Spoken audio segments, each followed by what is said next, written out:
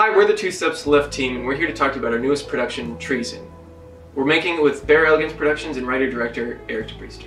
We met Eric DePriester through the Hollywood Fringe Festival where we did our play George.